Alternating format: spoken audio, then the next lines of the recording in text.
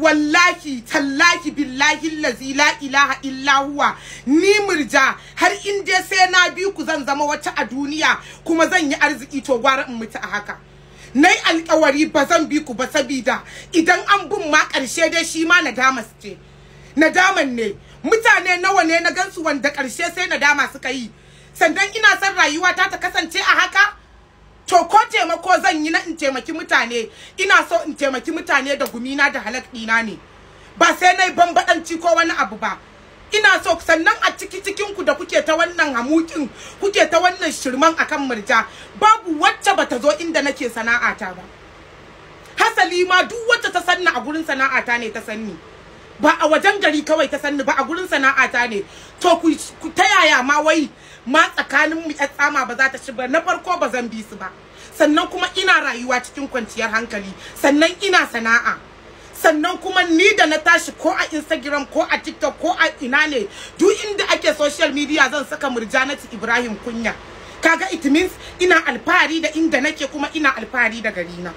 Wannan abun dole ya takura musu a cikin rayuwa. To dan haka duk wani wanda yake tare da ni ko wani abu kar ya damu akan ko me zai ji mace ta ce. Haka rayuwa take. Idan in dai aka ga ka ɗauko hanyar zama wani dole sai ka haɗu da su. Kuma akwai abubuwan da mutum wai ya manta cewar kun fai rayuwa fa. Kai ma ka san abubuwa ratata akan shi. Wanda idan zaka fito ka ce kaza kaza kaza ne duk wani abin da za ku ji na fito na ce an yi kaza a gidan su wani an yi kaza kawai ina yin sa ne saboda a yi nishaɗi a ci dariya kawai. Yanzu idan za a kashe ni a ce murja kawo wa'anda kike cewa kaza kaza wallahi ba zan su ba. Kawai ina yi ne don a ci dariya. So amma na ga abin ya fara zama wani irin shirme ko kuma irin rashin tunani ne mai kyau da abin da zai je ya dawo.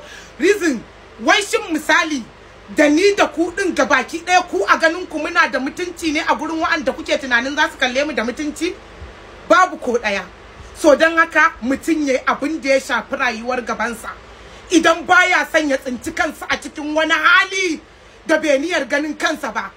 Kuma na yi ikirari na ƙara faɗi ko ina so zan taimaka wa mutum ina so in taimaki mutum da gumina da halak ɗina. Wannan masifar da kuke ciki ma kaɗai ta ishe ku a rayuwarku ta duniya.